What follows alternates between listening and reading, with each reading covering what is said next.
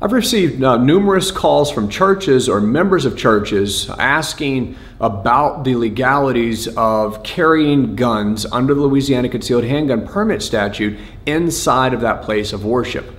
You know, up until a few years ago, uh, there uh, was no way to legally carry the gun in the church under the Louisiana Concealed Handgun Permit Statute. However, you know, with the uh, increase of violence, and I don't mean you know necessarily increase of of worst case scenario active shooter incidents at church, but just increase in violence in general. Uh, through that, uh, they uh, were looking, churches were looking to be able to to create security teams that they wanted to be able to allow certain members of those those teams to be able to carry firearms. And so we amended uh, the statute to be able to grant that authority.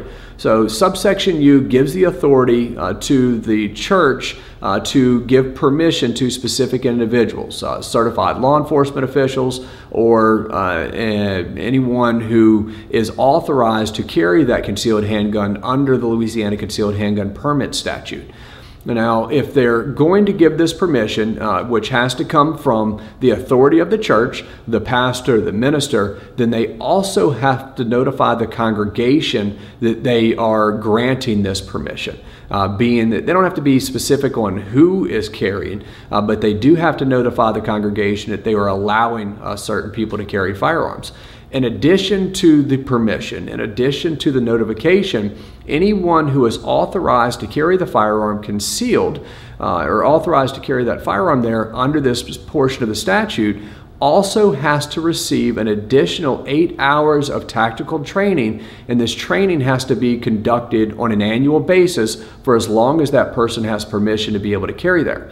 Uh, now, there's no state outline on what this training uh, has to include, uh, but it does say that it has to be eight hours and it does say it has to be tactical training.